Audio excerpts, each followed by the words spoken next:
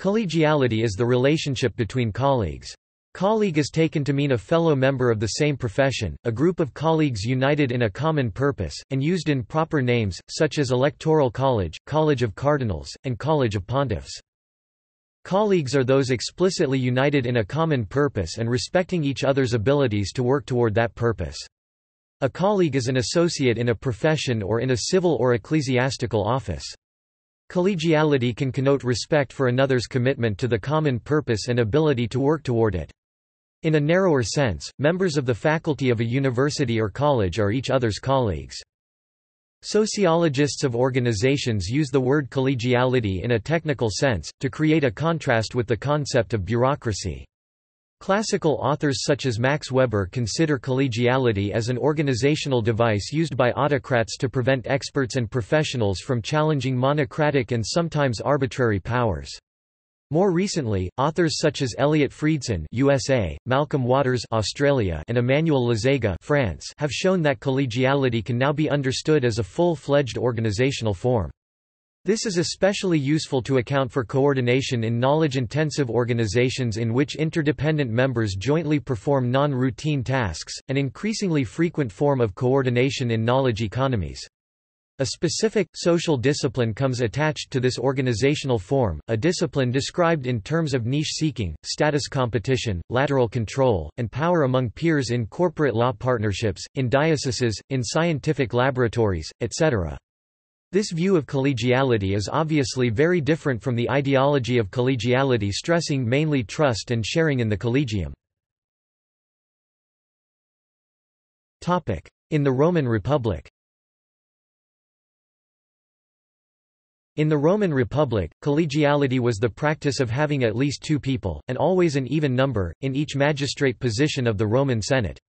Reasons were to divide power and responsibilities among several people, both to prevent the rise of another king and to ensure more productive magistrates.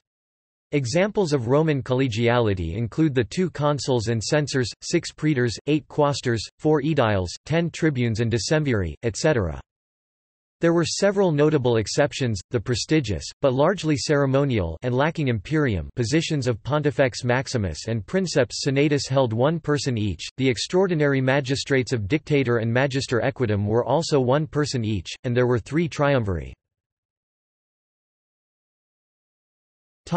In the Catholic Church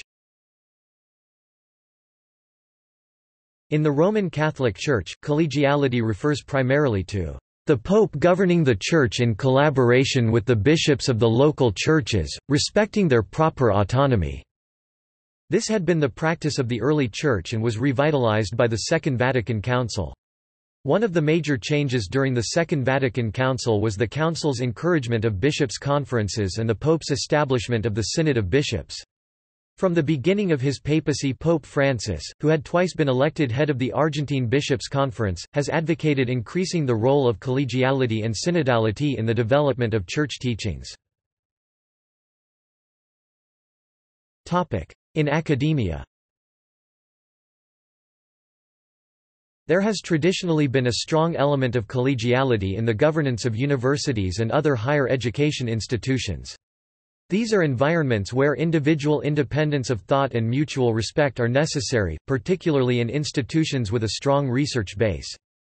Collegiality is often contrasted with managerialism which has a more hierarchical structure, with professional managers in leading positions. A managerial approach is often proposed as being more agile and effective at quick decision-making, whilst critics suggest that its appeal is rather that it is more likely to comply with commercial and government wishes. See also Directorial system Topic. Notes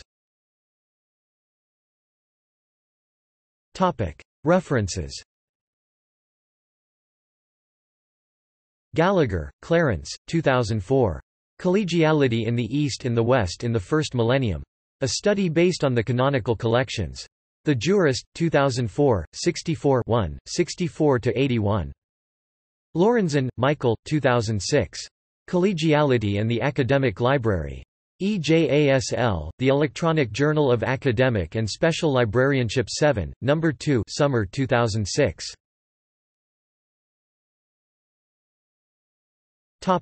External links Collegiality and the Academic Library